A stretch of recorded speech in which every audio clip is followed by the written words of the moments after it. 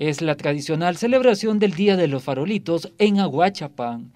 Año con año, más de 100.000 luces embellecen el casco urbano. El festival gastronómico y las presentaciones artísticas ponen el toque a la noche. Pero a raíz de la emergencia del COVID-19, este año se ha cambiado la modalidad de la presentación para evitar las aglomeraciones de personas.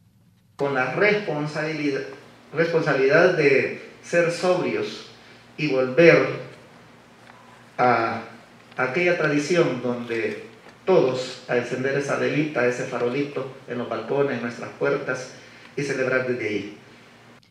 La tradición popular religiosa es considerada una expresión propia, la cual recibió la Declaratoria de Patrimonio Cultural Inmaterial del Salvador en el año 2014.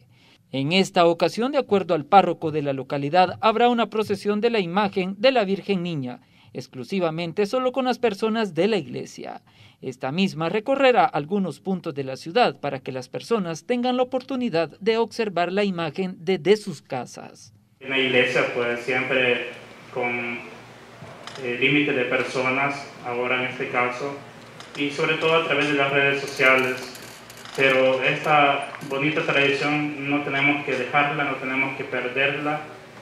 Eh, pues bien se decía que es algo que nos identifica a nosotros como aguachapanecos, como cristianos, ¿verdad? ya sea también de, cristianos católicos o cristianos evangélicos, ¿verdad? es una tradición eh, que nos distingue a nosotros. Reiteraron a la población a mantenerse pendiente de la programación cultural preparada para este próximo 7 de septiembre a partir de las 6 de la tarde por Facebook Live en la página Día de los Farolitos 2020. Este es un informe para Noticiero Hechos de Ernesto Cornejo.